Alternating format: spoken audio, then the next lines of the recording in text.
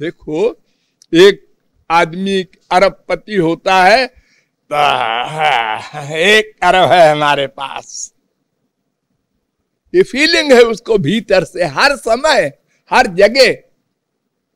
और हमारे भीतर भगवान बैठे हैं, ये फीलिंग नहीं है। होनी चाहिए ना।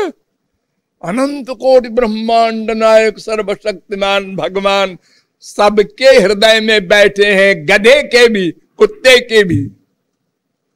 ये फैक्ट है, वेद कहता है, शास्त्र कहते हैं।